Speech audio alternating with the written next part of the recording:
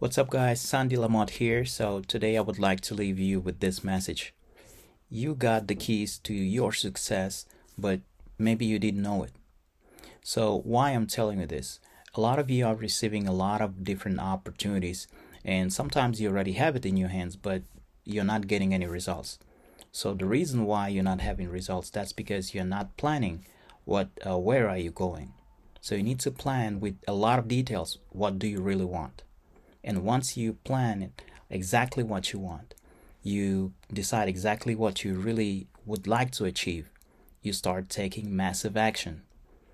And after make sure that you surround yourself with people with like-minded people with people that you know give you the support with people that will give you courage that people will not let you down when you will feel like you know you would like to give up.